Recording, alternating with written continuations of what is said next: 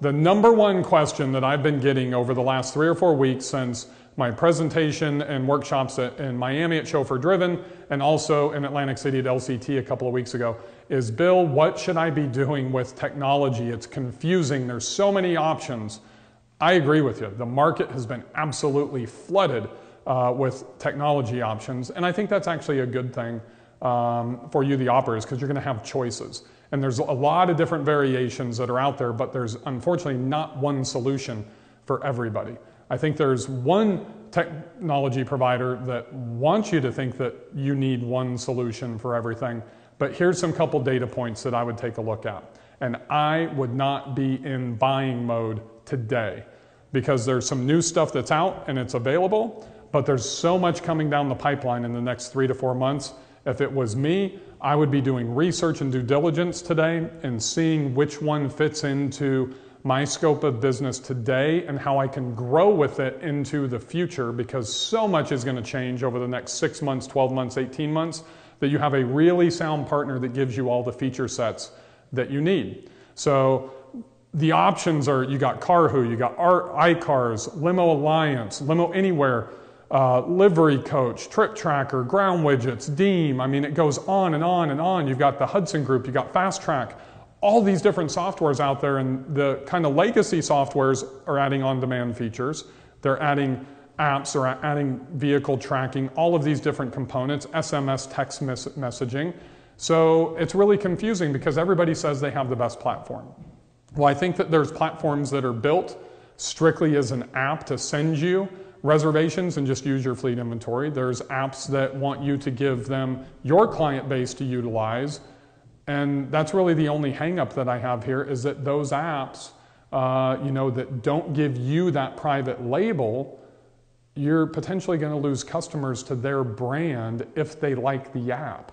So if I'm your customer and you own ABC Limo, and then you send me over to Acme app, and I start using it and I love it, and I'm your customer here in Nashville, and I travel to Chicago and I use Acme app and it's awesome, and then I do it in New York next week and I do it in Los Angeles the week after that, and then I go to Des Moines, Iowa, and there's no inventory and I can't get a car, I blame you for that.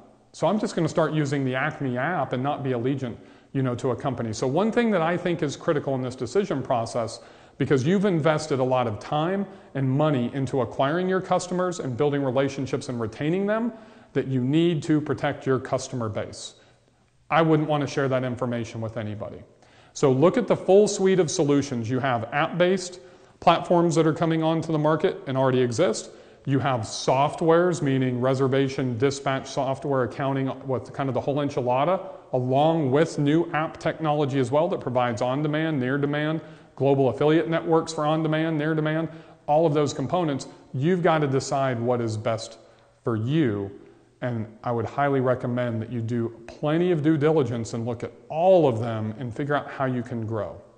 And then once you've made that decision, then make a purchase, but don't do it today. There's too much coming down the pipeline. I know of one that's launching on January 1st, two or three more that are going to launch between now and the Vegas show with LCT which starts on February 29th, leap year this year. Uh, so I would wait and I would start doing your due diligence. Literally, create a spreadsheet, write down the features that you want you need to be able to grow, and then list all the different software components next to it and just put check boxes to see which one provides those different feature sets to you. And then look at the cost. Remember, price has no value. So if you're a price shopper, you're obviously just going to go with the most inexpensive software. But if you are looking for value, then you need to quantify the cost upfront and on a monthly basis based on the feature sets that you're going to utilize. And you know, you need QuickBooks integration. If you're doing GDS, you need you know GroundSpan and GDS integration. You know, you, you need online reservation widgets. You, you probably want an app for your customer and for your drivers. You may or may not want on demand, or what I call where I think the industry is going is going to be to near demand. But unfortunately, I don't think there's going to be one single solution for everybody because you all operate differently and you're all already on existing softwares. So, my takeaway is do your due diligence. Don't rush to buy today. Make an educated decision. and wait at least probably 60 to 90 days until we get much closer to LCT in Vegas to make that buying decision.